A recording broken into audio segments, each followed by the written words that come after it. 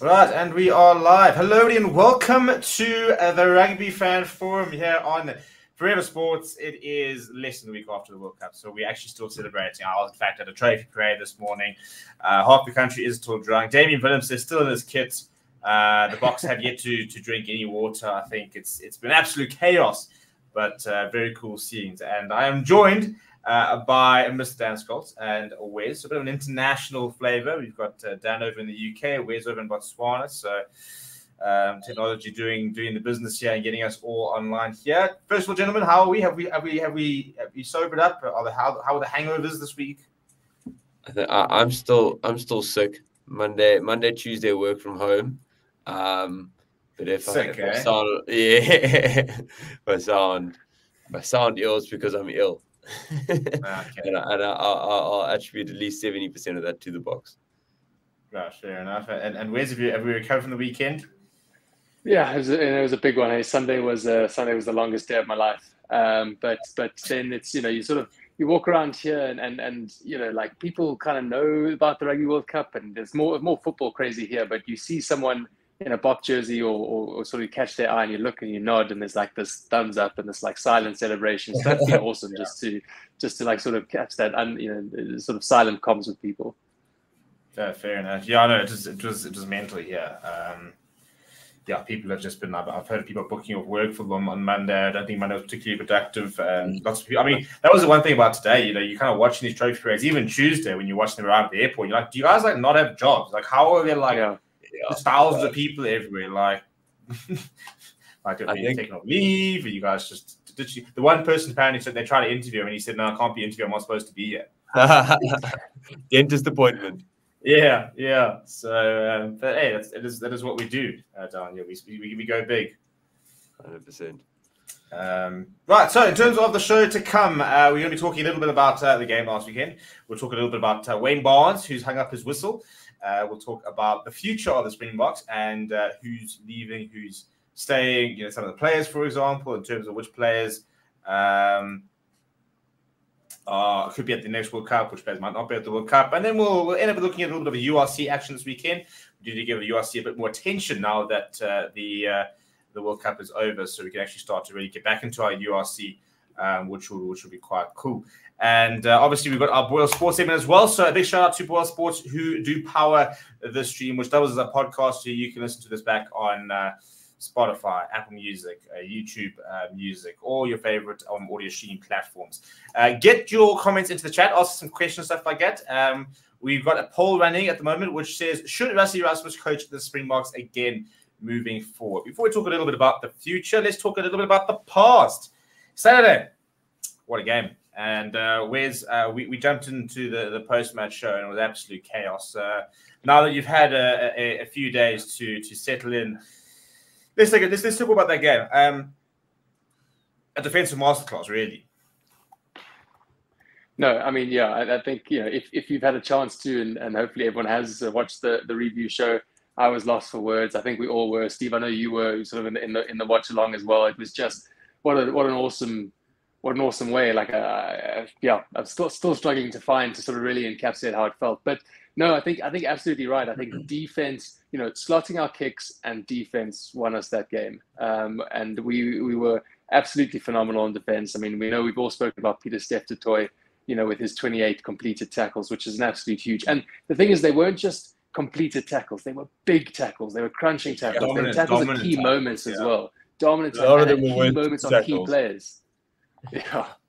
Yeah, no, and George, Jordie Barrett still, still, still checking under his bed for him, just trying to work out where yeah, he is. Absolutely, you know, and I see the comments about you know Jordie missed that kick because of you know the, the, what PSTD, PTSD. I get a mouthful there, yeah. but um, yeah, no, absolutely huge, and and we've said it before, right? And everyone likes to say it. It's a line that people throw away. Defense wins games, and defense wins World Cups.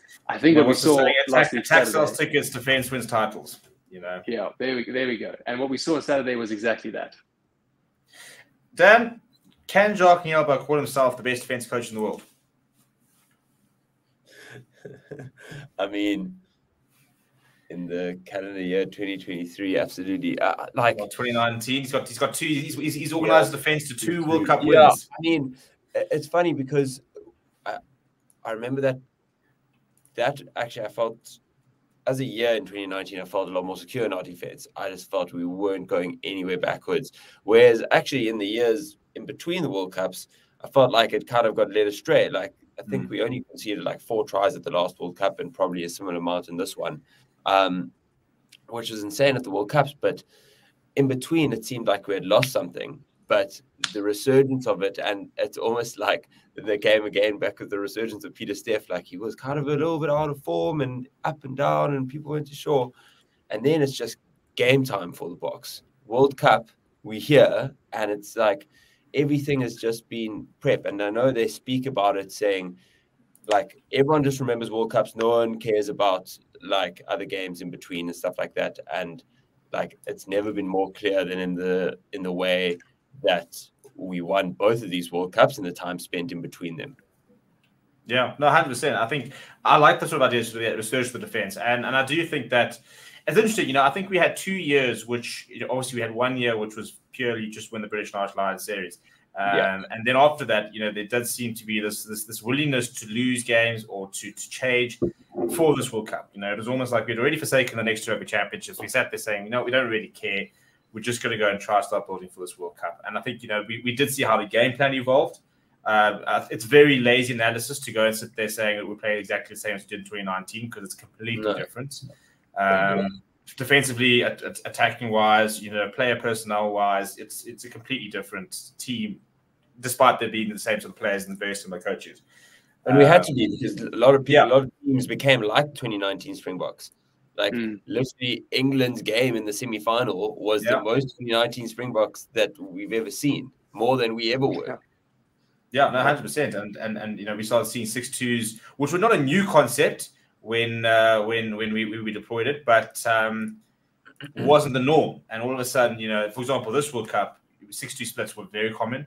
Um, the whole sort of forward forward orientated thing. I mean, Eddie Jones was in fact the one that actually teased the idea of a seven one split earlier this year. He joked about a seven one split, and then we said, "Oh no, no, you know, he's never going to do it." And yeah, he didn't do it, but then the Boks did it. So yeah, it's interesting how how things have changed, and, and at the same time, the more things change, the more things stay the same. And and there was a certain amount of brutality to the Boks performance last week, despite it not necessarily being the biggest Bok team of all time. I mean, it's funny when you talk about the massive Bok forwards, and yet two of our top performers, and Deon Fourie and Kwagga Smith, aren't exactly, you know, the two of your your, your biggest sort of players. Uh, Wes, let's talk a little bit about that pack. Um, wouldn't say set piece wise, we were phenomenal. Um, the lineouts were an issue, especially when Bongi went went off. Um, and scrums, we, we didn't quite ever get the dominance that we had in, in previous weeks. Um, you know, do you think you can attribute to that to the loss of Bongi? I think both in scrums and, and Lana playing quite a big role. Did New Zealand just do very well to neutralize that aspect? Where, why do you think that we didn't manage to maybe gain the ascendancy from a set piece perspective that we would have liked to have had and, and maybe had in previous games? Yeah, yeah, I think I think you know we everyone was looking forward to seeing that battle and and you know Bongi going off, well, that was massive, right? I think there were two players you didn't want to get injured. It was Bongi and it was Faf and yeah. and within the first couple of minutes we saw Bongi go down, and it was like, oh goodness, here we go. And um, you know, I think in terms of in terms of the scrums, I think the All Blacks just pitched up big time. I think they would have been pumped up. They would have been absolutely firing. You know, we we had some choice words for for the All Black front row. Um, early on in the tournament, I think we we were quite critical of them, and, and we kind of said, oh, it's not really a competitive or technique front row. And fair play to them, they they made us eat our word because then they really turned it on and they were getting a lot of the island scrum as well. Again, you know, a scrum that had been doing very well in the tournament. Um, so, so I think they they just turned up to play and, and potentially even had a little bit of an edge on us, you know, despite um, our scrum being what it is. Uh, line out time, they were all over us, and and I was trying to keep calm, and I tried to think. I thought, okay, you know, we we were disrupting Ireland's line out, and then they got it together, so so we'll get it together, and just we never mm. really seemed to to quite get it quite there. Um, and I do think that probably was was Bongi. We were missing Bongi there to potentially uh, find, you know. But but you still had the jumpers and the callers, and uh, we just couldn't quite seem to get New Zealand. I mean, they they knew where we would be vulnerable, you know, with one of our key players off, and they absolutely went for us. Yeah, interesting. I mean, New Zealand's lineup wasn't wasn't perfect, so it was interesting how neither side. It was actually that for me was one of the most interesting aspects. Neither side had that go-to hmm. set piece where it was like chips are down, we're under pressure you know, we're going to kick deep for them, force a line out because we can go to a line out and we can and we can reestablish a platform. It wasn't the case of put a bit of pressure, force a knock on, take a scrum, and we can use that to to establish some pressure. So it was interesting, and that neither side really had that front foot ball to to really be able to attack from. And New Zealand had a couple of very good lineouts, but I mean, we saw that like thumping hit from PS du Toit on, on Jordie Barrett, where we had almost sort of pre-worked out that's going to be the move. And there's just, yeah. you know, neither side really managed to build up momentum at time. It was, you know, it was always, it wasn't like these very long passages of play where a side was just all over each other and stuff. Forget it was a little bit stop start at time. Um, but Dan, I mean, it's it's it's, it's a little about the defense. I want to look about some of the backline players and, and someone who stood up as, as we kind of waited for. Um, but the likes of a Jesse Kriel, for example, next to a PS du Toit, you know, the way that we read that incredibly dangerous New Zealand backline, you know, and and and how a player like Rieko Ioane was was very absent at times. And we're talking about a Will Jordan who was about to, you know, set to score the try scoring, you know, break the try scoring record. He's been scoring tries for fun. Probably one of Will Jordan's quietest games. In fact, he got subbed. Yeah. Yeah. Yeah. No, I mean, you can't, you can't um, give them enough credit for the game management and defensive management. Like, obviously, you, you, when you think defense, you think Pieter-Steph du Toit hitting you know, someone. But I mean, it was almost like I felt like Lukhanyo Am was like the original like mastermind behind like making things go away before they happened, right? And I feel like that's what the Springbok defense is so good at doing. It's like knowing how to read the game, and our center um, pairing of Jesse and, and Damian have been superb at that in being able to nullify and read the game so well that the person they either knew the, the person was going to get the ball or they were putting themselves in, in a position to be mm-hmm. able to stop it when they do um, yeah. you you really yeah again you, you you can't take your head off and and a lot of that is just a rugby player's willingness to work really hard for the tireless things that gives you zero glory and and and think that's what exactly what both of our centers do yeah, hundred percent. I think I said I think the reading was. I mean, there was there was a there was a. I watched the clip back, and there was a dummy run, and it was such. It was perfect dummy. It was just played right behind, and Jesse Kriel just delayed by like a fraction of a second, mm-hmm. making that hit, so you could actually read that the pass was going behind, and he actually managed to adjust. And it's just those sort of small things where he decides the ball's going there, he commits. There's the gap. Rieko Ioane into the middle, and we've seen the story a thousand times. You know, the patience and the accuracy of the defense was was second to none. Um, Handré Pollard, ice in his veins, and uh, and Faf de Klerk, who, who couldn't afford to get a yellow, couldn't afford to get injured. You're the halfback pairing, whereas it's our most experienced halfback pairing of all time. Do we start putting them in conversation as our, as the best halfback pairing of all time? They've started two World Cup finals. They've won two World Cup finals. Well, yeah. If, if you want to look at, you know, it's always how do you define best, right? And, and then I was watching um, the, the videos you've been putting out, Steve, which have been great, and, and talking about the Springbok side and um, and looking at is it the best Springbok side? And it's like, how do you, what are you defining as the best? You know, because if you want to define it by the greatest scrummages or the best defense or whatever the time period, it, it can change. drinkers, but, for example, you know, the yeah, yeah exactly. Um, although I think these bucks, you know, might be up there. I mean, I've seen those videos of Malcolm Marx and Oak is a saint. So, um, yeah, the two, the two of them like. Think, have you seen that video with Damian Damien Willems are having a time, and those two are obviously, you know, quite a few beers, and they're busy like sobbing on each other's shoulders, and you just know the time of night, you know. It's just it's awesome, but um, but no, going back to your question about the, the pairing, I mean you know there's something to be said for for that experience and knowing that that that partnership is so vital and and and knowing where that person's going to be and you start just intuitively playing right? Getting into that flow zone where you're actually not thinking you're just doing. And the less thinking is better because as soon as you think you start to doubt. And if you doubt then that's where mistake and error creeps in. And i think having that pairing between Faf and and Pollard was was was key. Was essential you know and we'll never know um, we'll never know what would have it looked like if if Manie had started or played. You know, um, it would be very difficult to say who would have won or lost because I think it would have been a very different game. But that was the call they made, and it turned out to be a correct call. I'm not going to say it's the right call because that implies the other one is wrong. It was a correct mm. call because we, we you know, we won the World Cup. But um, no, hats off to to Polly for just slotting those kicks, standing up, doing his job. I mean, that's what you want out of out of mm. any player. You just want them to get onto the field and do their job and do it bloody well. Yeah, the most points in a Rugby World Cup final, Handré Pollard. Uh, but also, like we, we know the Springboks in Rugby World Cup finals, and and it's what every team should take into a World Cup final. It's like get points on the board. Like even at the last World Cup, you know, I think we scored our first try in the 60 something minute. You know, it wasn't like we blew England out of the water with tries out of the gate. We were exchanging mm. penalties. And when I, it was, I think it was the second one where it was probably a 45 meter one, or like back on the left, on the left from like the 10. Um, I was like, geez, okay, if you're not going for for corner here, like this is a tough kick, you know, like you, there's no ways we're going for anything that anything that's kickable is being kicked at you know, mm. and and then if if we smell blood, maybe there's a yellow card or, or, something like that. Although they probably kicked that when they did have a yellow card. Um, you know, if, if, there was a real opportunity to kind of, you know, go at the jugular, then I think they would have maybe gone for the corner. But the scoreboard pressure was enough, and you know, our first half performance was so dominant that we could have just, well, we thought we would just, you know, continue going in that fashion, just like no hiccups, three points after three points. Yeah, it's funny how that that, that red card Sam Sam Cane in many ways galvanized, you know, in, in the yeah. All Blacks. Kind of sort of set the saying, right, well, you're gonna you have to just 40 men. So I knew there was yeah. going to be trouble, though. I knew there was going to be trouble. That that that All Blacks team, as soon as that happened, and it, yeah. went down to 14, I knew it was going to be harder for us. Well, it's it's weird because you know that that All Black side has actually had a bit of a habit of dying out in games and not having the best uh, second half.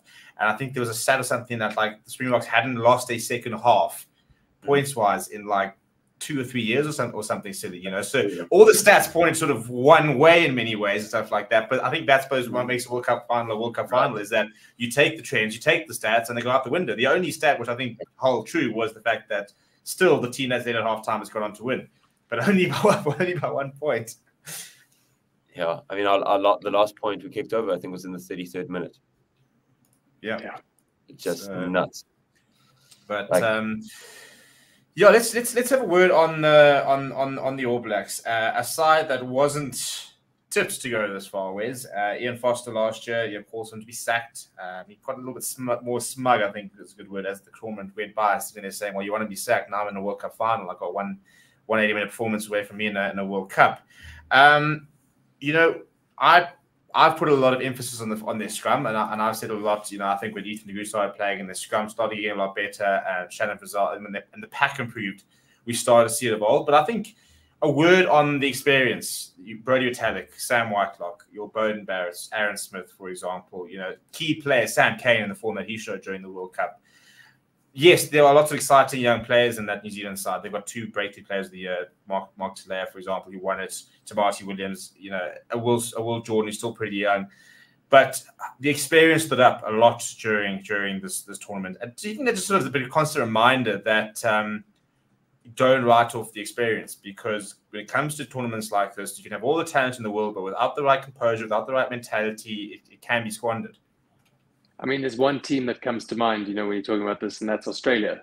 You know, if, if we look at, at at the difference there, you know, Eddie Jones made those massive calls to leave two very experienced Oaks behind, and and it's not just about experience. You know, there was a clip that came out where Oz were playing someone, and I think they were down or behind, and you know it was Quade in the middle, just talking to them, saying, "This is what they're doing. This is what we need to do. We're all in the clear. Like, yeah, everyone, just just the small, calm, I said, calm, cool, mm. composure. We've been here before, boys. This is what we need to do. You know, and it's someone to look to. And I think, you know, I feel for um, oh, his name's escaping me. Who was the young ten they took? Not uh, uh, Gordon.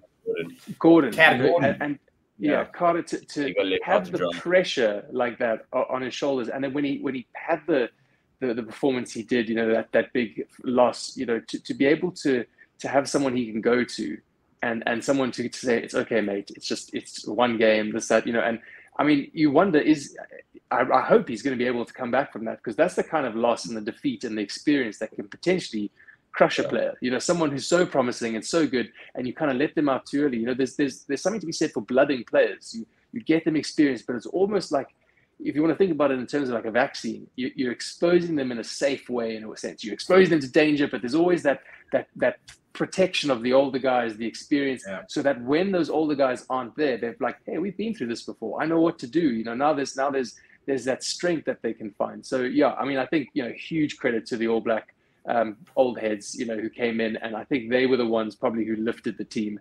Um, because as you, are right, Steve, they, I mean, I, to be honest, I thought th- th- these All Blacks are nowhere, um, and mm. especially when we completely dismantled them. um, at Twickenham. You know, I, I, I, was I was concerned there. I remember after that game, I said, "Trust me, this team will will if, if they've got the choice to lose that game in the way they did and win the World Cup, they'll take that deal every time." Yeah, they, they, almost yeah. flipped and did it. Yeah. yeah, I believe I believe I believe you said that you know if, if, if they were to choose to lose ninety five 0 or something along those lines and, and win the World yeah. Cup. So yeah, no, I don't think it's a good point. Um, Dan, you know this this All Blacks. Uh, I mean, we've said goodbye to a so yeah. I mean, Brodie Retallick, Sam Whitelock. I mean, we have to go back a long time before you start watching with without those two in, in the centre of that New Zealand scrum. Aaron Smith, the best passer of a rugby ball of all time, in my opinion. Um, I don't think there's anybody better. Yeah, the, you know, the fingers. Just, just that, that, that, yeah, and it's the spiral and just, and that, and that bullet pass, and he was just an absolute pleasure to watch and stuff like that. Beauden Barrett moving away, Richie Mo'unga, I think Rieko Ioane, Dane Coles, for example. Um, mm. Lots of big names moving on. Do they cope, or do you think we're going to see a, a bit of a hit from the All Blacks next year? Yeah, I mean, it, it didn't. Maybe other than Dane Cole, like Dan Coles. I think he feels like the only one who was maybe running out a little bit of steam. And it was a pity he didn't actually get his swan song. Like he, he didn't play in either mm. the semi or the or the final. But I mean, it almost still feels like like the performances that that Retallick and Whitelock were putting in, like immense. Aaron Smith, like mm. one of the best Aaron Smiths we've ever seen at this yeah. World Cup, and it's like mm. it's, it must be so hard for these these people to know when that time is, and and you know they have to have that belief that they made that right decision. Massive, massive hole at at scrum half. like someone that's that dependable in such a crucial position. Except, except. Cam Roigard. The Cam Roigard era. I'm, I'm so in there. Yeah, he wasn't even. Why wasn't even starting? That's why they lost the World Cup. Wasn't even on the bench. Like, that and because uh, DMAC didn't play ten. Correct, correct. Those yeah. two in the team and, and they are and they win. No, but you're right. You're right. It's it's not even just yeah. I, mean, I think Roy was phenomenal, but Aaron Smith has just been such a constant in that side.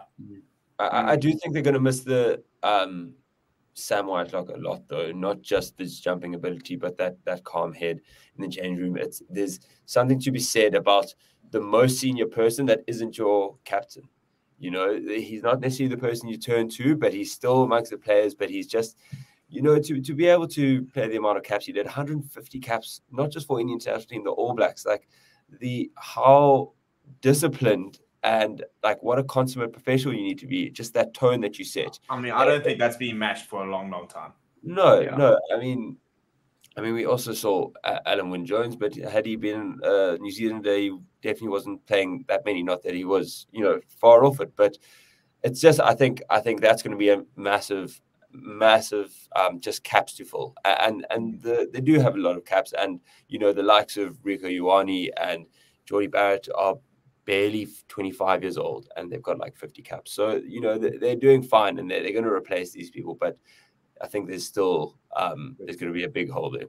Yeah, I think there's best definitely a new gen. I think players like Ardie Savea are going to become more important than ever. You know, I think Jordie Barrett now needs to stand up and take a bit of a leadership role because you could have a lot of new players in and around him um, with like a Beauden moving on. Um, yeah, interesting to sort of see how, if this sort of opens the, the, the doors for your Antonina Lienert-Browns to start coming back and getting a bit more involved, like they were Damian McKenzie, for example, who's back playing in New Zealand, where he'll suddenly start getting getting time at ten.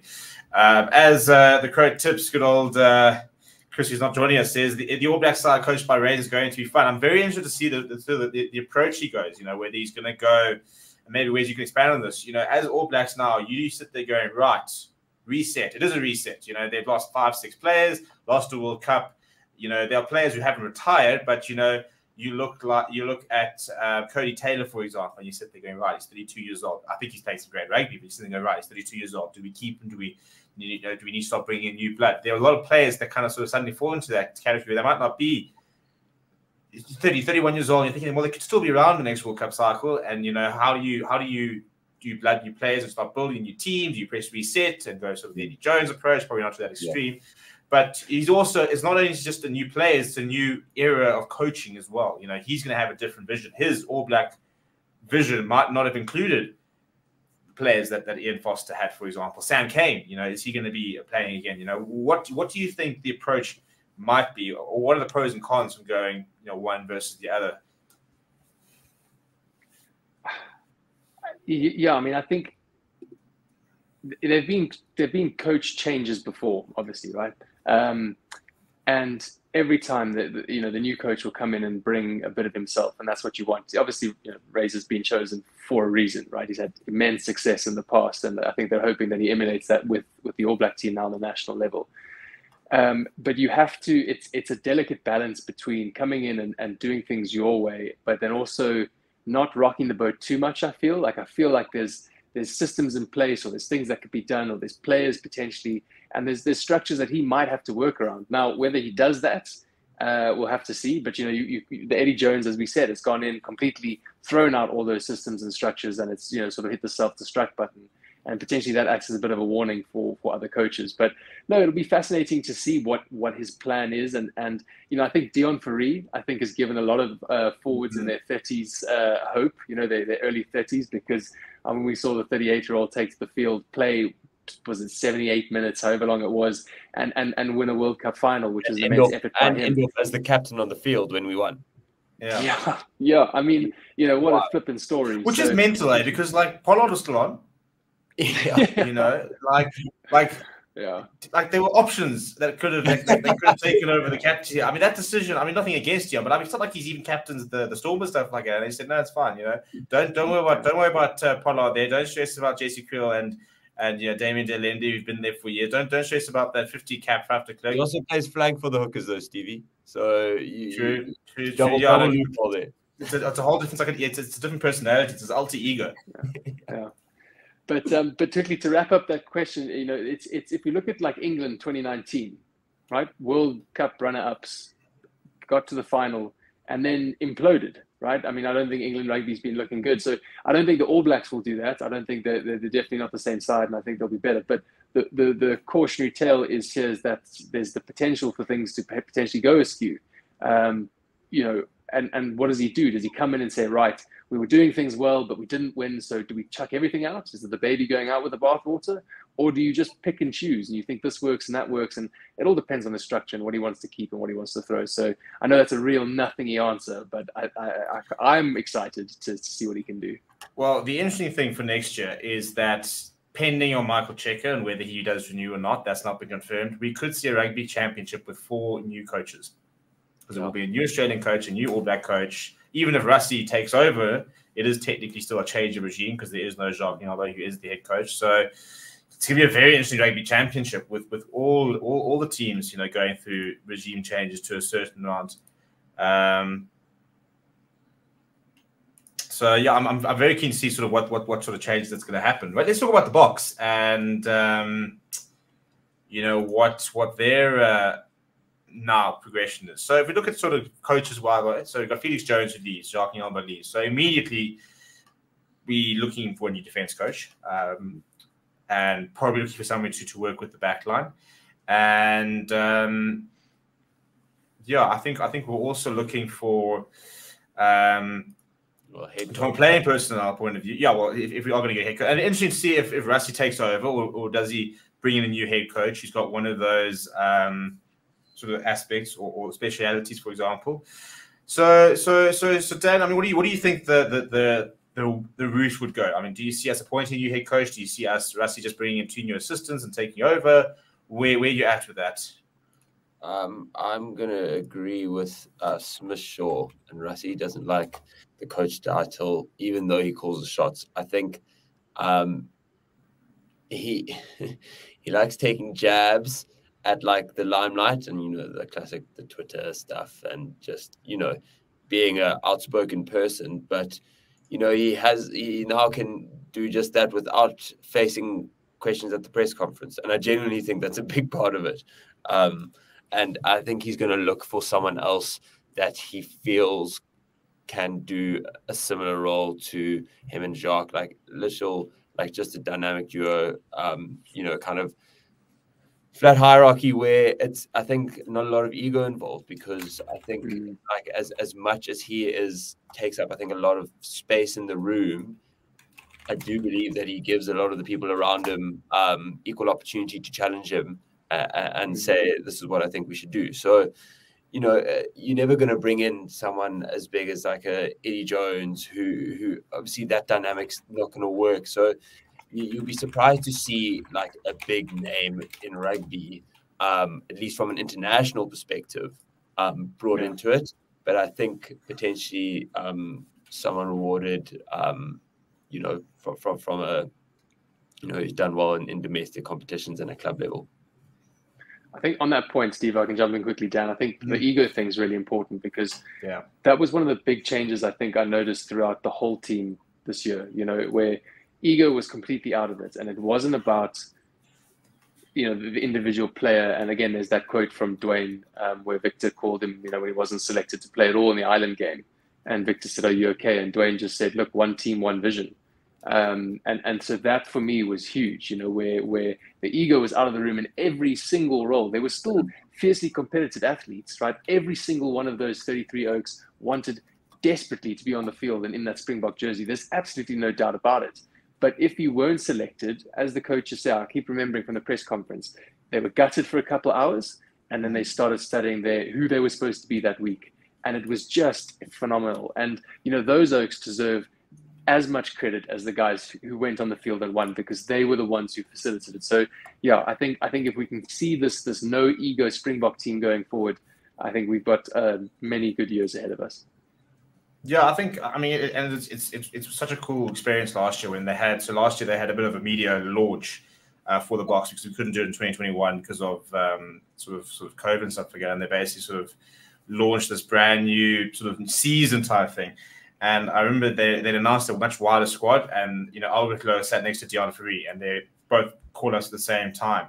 And you know it was this concept of Deon Fourie is 38 years old, brand new in the squad, and he has got as much say as a 19 year old Canan Moodie, you know, and, and type like that. And there was the sort of sense of yes, obviously there's a leadership group which is very big, um, but I loved and especially where where where where, where Siya emphasized, he said, you know, everyone's got roles.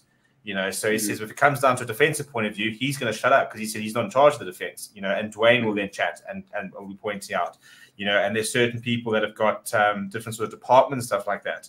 Um, you know, something like a Marvin Orie, who I think played a little bit of an LTJQ's role in 2019, where he wasn't playing a lot, but always on the water, for example. Somebody doing a lot of studying, a lot of analysis, um, and he was sort of that that link between the coaches and players and relaying messages and saying, "Right, guys, this is what happening." So yeah, I mean, once again, you know, I'm sure you know, chasing the sun two has been it's been announced, so I'm sure we'll see a Dirt Trackers episode once again about the preparation. You know, Martin Debok running as with Chimawanga during the week and stuff. But I think that has been a big thing, especially in the coaching staff. I mean, how much was Wandile stick question when he was first appointed? He's now won two World Cups.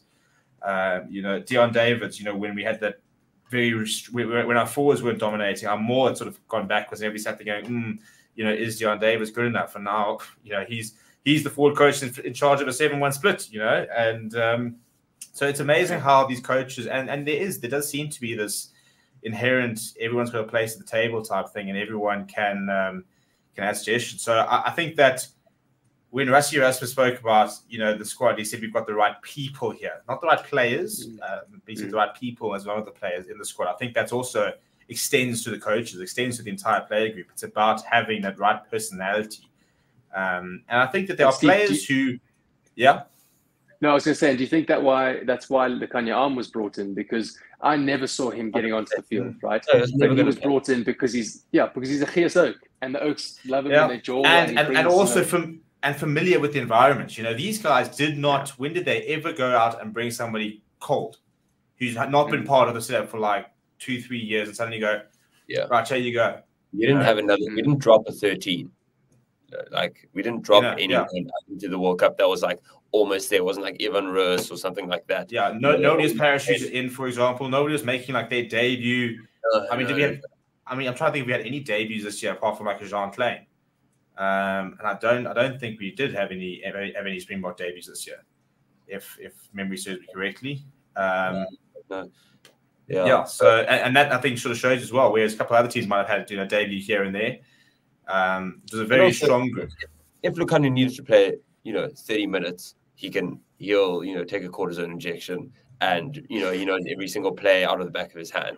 Like you yeah. can't chuck in someone cold under that type of pressure.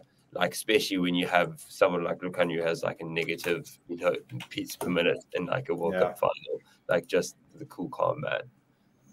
Yeah, it would have been very interesting had there been injuries to Jesse whether they would have gone with Lukhanyo or whether they've gone and said, no, well, Canan Moodie's fit to, we cut it back. And that would have been a very interesting mm. um, Thank goodness we didn't need to go there. Yeah, well, I think it's a lot of thank goodness we didn't need to go there. You know, Faf getting injured, he was going to play scrum half for the 80 minutes. Yeah, uh, a lot, of, a lot of different. Deon Fourie was a thank goodness we didn't need to go there, but we went there. we had to, we had to go there. Yeah, no, thank. Sorry, thank there's only one we had to go there. Uh, but also, we also had our star fly half like gone for sixty percent of the World Cup. Like, well, he, you know, he didn't go like, to the World Cup. He's, he currently can't play rugby. Elton Jantjies. Yeah. He's still. He's still. he's gonna go back to Leicester and say I'm injured. still in rehab. Yeah, yeah. Oh no. Dreadful. Yeah, no, but that's it. I mean, so it wasn't it wasn't an easy road. It was definitely rocky. I mean, to go to the World Cup using Malcolm Marx, you know, but it's funny how there were so many external factors, and yet we talk about it as if there weren't because of how well we coped. I mean, Bongi Mbonambi became.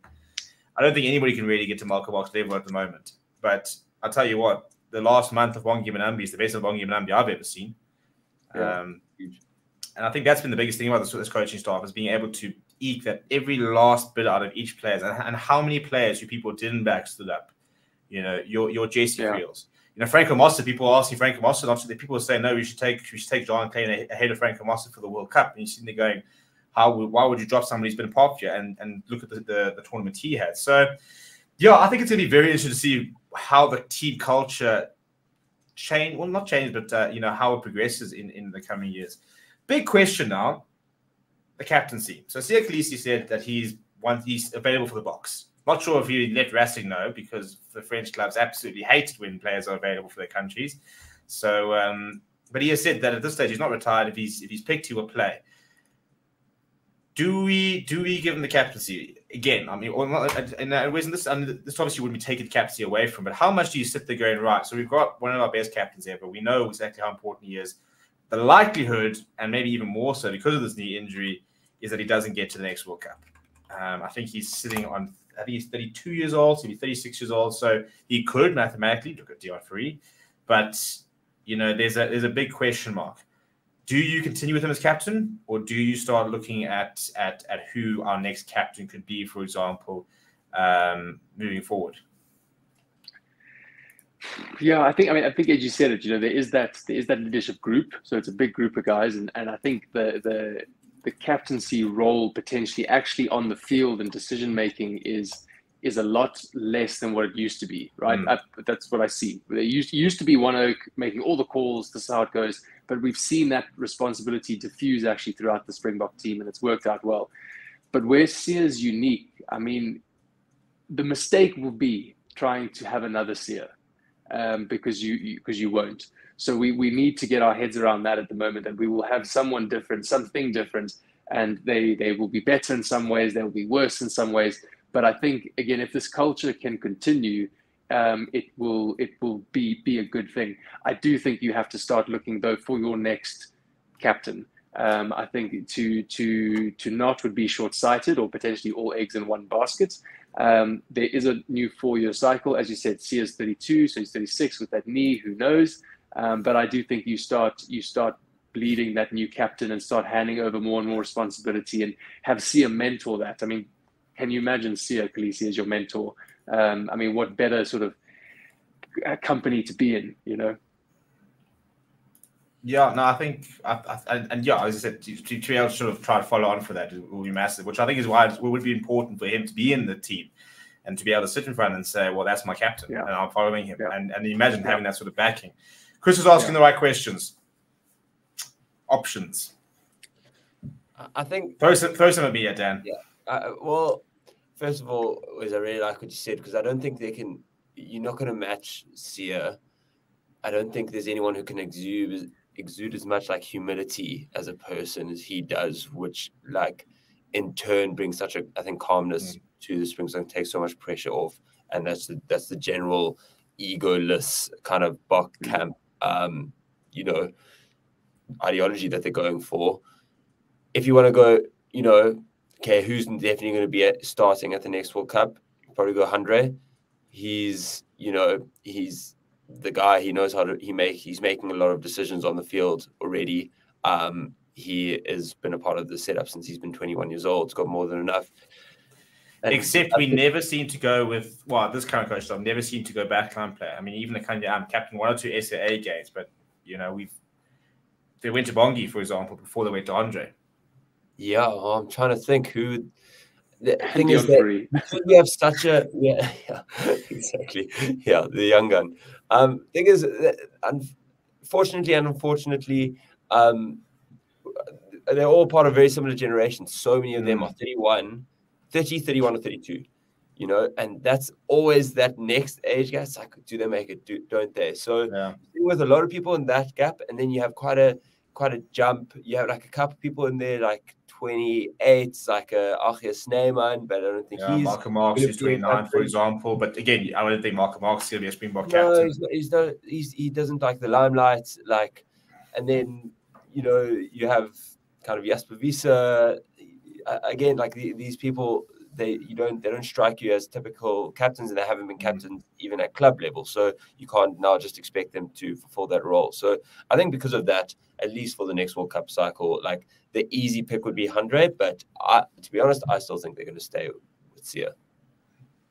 Yeah, no, I think I think it's a good chance that they might. I, I, think that's an interesting point. You know, you talk about leadership group and you talk about the kind of um, Handré, Bongi, Siya, Duane, um, you know, even Pieter-Steph, for example, Eben. You know, I suppose Eben could be a, could be an interesting candidate because um, he's just looking. I mean, from an age perspective, I think he's could be the same age or if not a year younger yeah, than year younger. Yeah, yeah. Um, so, was I think I think they're the same age actually. I think they obviously played as under nineteen together. Um, but so yeah, it's, it's gonna be it's gonna be very interesting to to see who who the candidates are because I do think that our entire leadership group does seem to be in the same sort of generation as you say.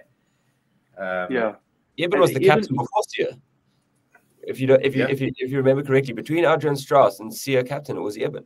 Eben was like the interim um, captain. Yeah. He was the um, I think it was the Siya was made captain of the Stormers, or Eben was made captain of the Stormers, and then Siya was then um, made after that. So I mean, Eben can be, but he well, he was going to be this year for result. He was. He did captain us this year as well. He did captain us side, yeah. No, and I think my, my for my point on Eben is is for me when he's not captain, he plays better rugby. Um, yeah. And that's not to say he's there's, not a leader. There's, there's a saying in football which says where they say don't captain your weapon.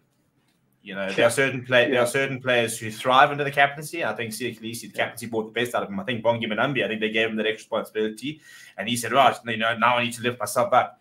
And I think there are some players who, you know, can can walk out there without the captaincy and say, "Right, I'm just." I think PS du Toit's a player like that. You know, I yeah. think there are certain players who could be captains and could be great captains, but you know, not giving them the title, not giving them the responsibility means they can just focus on being in Eben's case, the best lock in the world and one of the best locks of all time. Yeah, exactly. Elizabeth. Elizabeth. Oh no, it's been, it's been terrible. So many of those signs out at the uh, at the thing. But yeah, right. So we've got a lot to talk about. We've got plenty of time to talk about the Boks as well. So I'm going to move to our betting segment before we're going to move to to the URC. Uh, somebody was earlier was asking where they're staying in Cape Town. I have no idea. Um, there will be a town hall tomorrow at half past ten. It's when the uh, parade starts. Um, so that's where you guys need to head out if you want to watch check out tomorrow. Um, just a second, you guys name a Springbok 15 line under 30 years old. I think we might need to do that on a upcoming show, maybe. That'll be fun. we can actually try and uh, we can actually do a bit of research, and I think you know we'll tell you we try and bring their own teams, and we can start seeing who who everybody's got. Um, Chris make a good point saying maybe Steven Kitshoff is captain. He's he's in the right sort of age gap. I think he's about 29, so so he could potentially be an option. Um, but let's move to our betting segment. And uh, yeah, Chris is uh, in the comments, but not here tonight, unfortunately. Uh, so we're going to move to. So you're, you're, going to have the BTEC uh, code tips here and the Stevie P tips. um, right. So the good news is last week we won. Chris is on a roll. As you can see, a 53% return on investment there. We are up 27.47 units. And uh, yeah, last week we backed uh, Argentina in the plus seven uh, with, a single, with a single and won that, and a Stormers at uh, minus 23.5 handicap, which also won. So two wins last week. So great stuff there from uh, from Chris. He has given us a bet this week, and this is all on BoyleSports, by the way. We had a bunch of people last week who won free bets uh, on their BoyleSports account, and we are going to be giving away more free bets uh, um, this weekend as well as on our Super Boost. So if you guys do not, if you guys are slacking, if you guys are, are late to the party, I'm going to put the link in right now.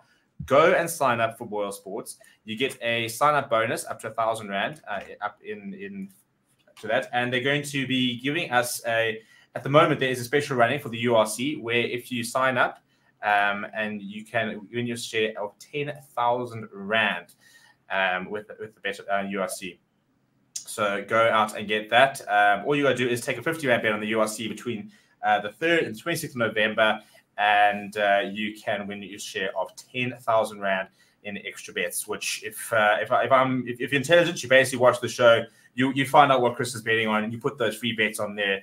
And you can win big. So lots of very cool things BoyleSports doing. If you guys are new, uh, haven't seen it, go and join our SuperBru.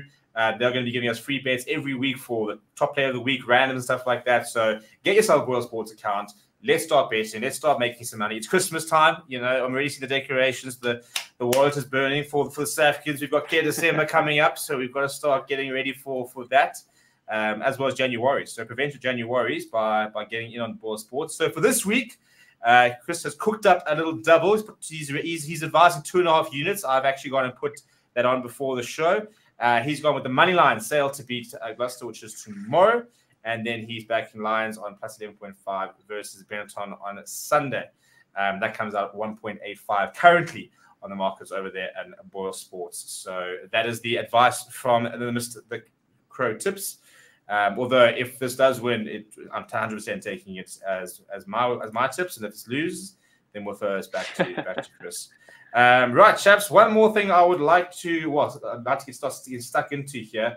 Um, and uh, where's I want I want to find out how much of the, the URC you, you're planning on watching and and and uh, and what's going on here. But we've got URC action this weekend, and uh, the nice thing is not the nice thing, but um, because it is uh, the, the, World Cup is finished, uh, it means we can sort of give the URC a little bit of the attention it maybe deserves and has been getting over the last few uh, weeks and stuff like that. So these are some of the fixtures.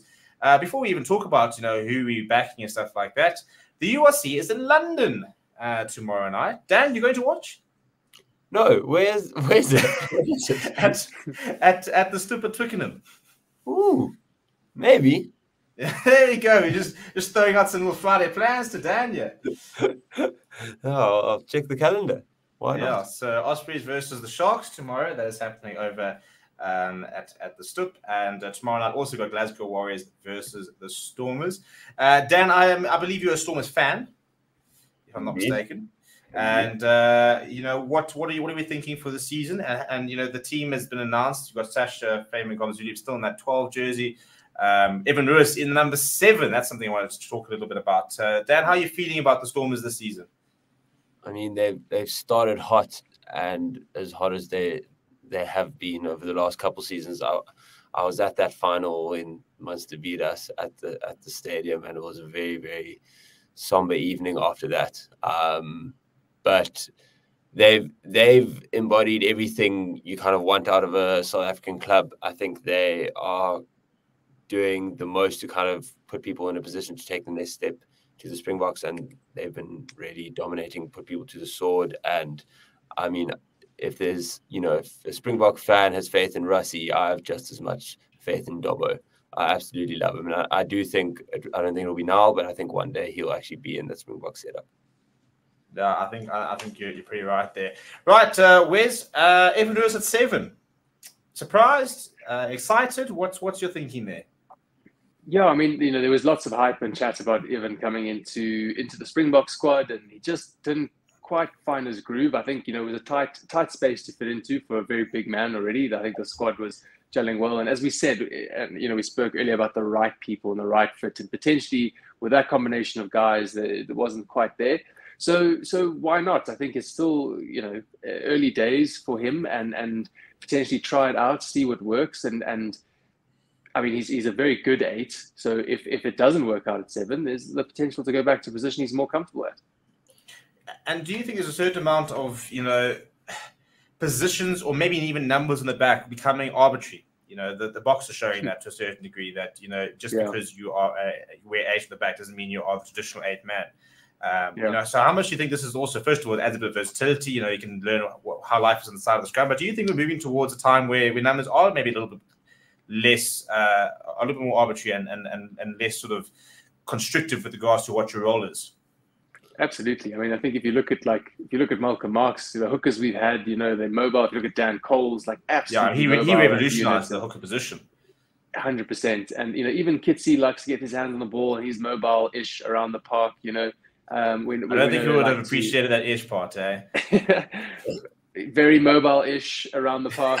um, no, love you, kids. Um, but no, he's he, so, so, yeah, Steve. I'm with you there. I think I think you know, we spoke about it. Everyone has their role, and just because you're in this number jersey, you know, maybe your role is to do X, not Y, and the next guy who comes in is to do X and Y and Z. So I I, I think that versatile player is huge. If we look at Kwagga Smith, right, the Swiss Army mm. knife of rugby players, mm. um, you know, and and what he can do, and and I think that's what we want to try and focus on is is everyone, people who can fit in everywhere. And the, the risk though is potentially over generalizing, you know, and, and maybe going too broad and getting Oaks to do yeah. too much.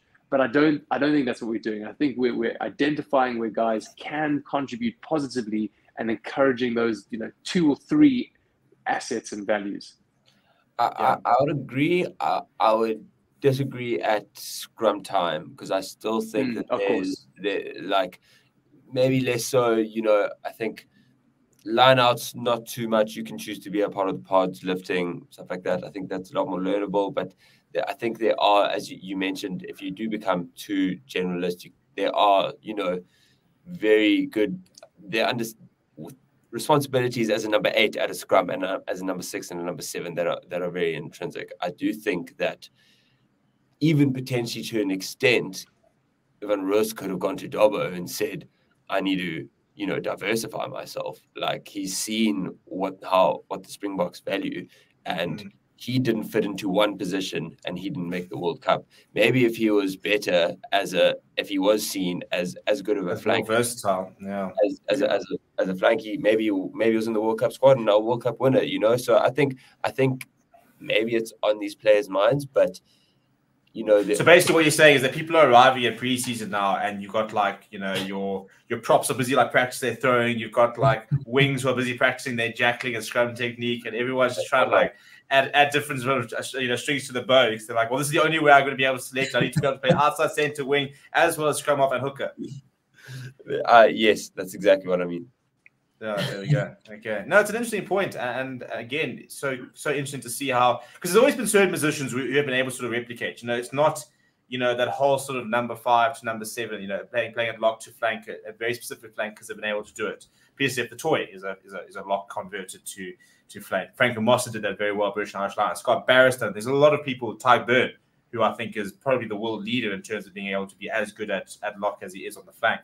Um, but it's interesting to see how people now sort of adding more to that, you know, where they're not just, yeah. you know, being able to go from very similar roles, to, you know, but but very different roles. I mean, for example, like Kwagga Smith, who can play across the back three, you know, um, as well as on the wing and stuff like that. But yeah. he is a bit of a player in in isolation.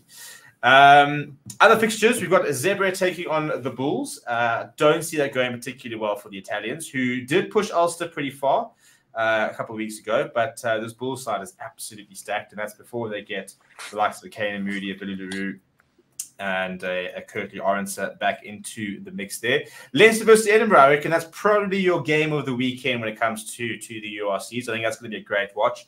Um, what makes it interesting, obviously, a lot of players are still coming slowly coming back from the from the World Cup. So, for example, uh, for Glasgow Warriors tomorrow night. Uh, I think Sione Tuipulotu is back. Matt Fagerson's playing. Richie Gray is playing. So a couple of players starting to get back. But um, yeah, not all of these squads are sort of back to full strength. Uh, you've got the Scarlets taking on Collar tomorrow at um, I'll say at seven o'clock, same time as Munster versus Dragons. Uh, you're doing a Connacht versus Ulster in a Interpro uh, over in Ireland, and then the final game of the weekend it is Benetton taking on the Lions. Uh, Lions searching for their first victory of the of the, the tournament have come up within points, you know, two games in a row, one against Stormers, one against uh, Edinburgh last week. So really looking to try and find that first uh, win there. So a pretty stacked weekend of URC rugby, and uh, very cool to sort of be able to get back to that. And um, yeah, so chaps, just in closing, um, it's something that I wanted to talk about a little bit is just the possibility of a three-peat. Here we yeah. go. Let's start. Let's go. You know, just very, very quickly. what do you what do you guys think? I mean, is it possible? First of all, no team's ever done it. Not not on the run that we um if we have the, a similar run into the final that we did this year, there's no ways. The, yeah. the men will be far too old and, and frail. Well, I, think, I, think, I think we need. It's a big, it's a big shout. Starts, uh, you know, suggesting that Neven is going to be frail. Yeah, I mean, frailer, if that's a word. but mobile-ish. I mean, they have they have said they have they have said that um, he said yes, it's a lot closer to yeah. the actual World Cup starting than it did, mm. you know, like not two years before, and you know that's a genius move that I can't believe they didn't think about beforehand. But you know, so so there will be a more equal draw in that sense. So we shouldn't you should never see kind of what the Springboks kind of had to go through, or anyone on the for me, side. For me, it's what Scotland had to go through. When you think it was a golden generation of Scotland yeah. players that they could have yeah. very well got themselves to a semi final and they were robbed of the chance because they played against number one side in the world and the eventual champions. Yeah. but know? to answer your question, Steve, 100% yes. Three peeps on. Like, three peeps. I, like, I, I can see it. Siya's going to be there, and I don't know who's going to be beside him. Most of most of the boys, I think. But Canan Moodie will still be 19. Canan Moodie, yeah. Yeah, Kwagga Smith yeah. still won't have a fixed his nose, you know. And where's actually bad luck if he fixes his nose now? No, he, he can't. He like can't. It's, it's, it's um, yeah. No, I mean, you know, people always what Mandela quote. It's always impossible until someone does it. So you know, like it, it will. It someone will break that one day. Um, someone will get the three peat, and and I really hope it's us. And again, if we continue the form and to build, and I've said the word a lot tonight, but the culture, and there was a there was a lack of comment earlier on, and I actually missed it, but it was talking about the the depth in the squad that we've built. Um, and and how that allowed us to do so successful. And and the commenter, sorry, I missed your comment, but it was it was just talking about how, how many players we had and how many substitutions we made and changes. And again, it was yeah, it building was. that depth. There we go. Thank you very much, Steve. So the last 26 tests, we played 52 players, made 301 changes uh, during that time, an average of 7.5 changes the starting 50. I mean, that's huge, you know, and it's and, and we spoke about it in the World Cup and the build up. Is it too disruptive?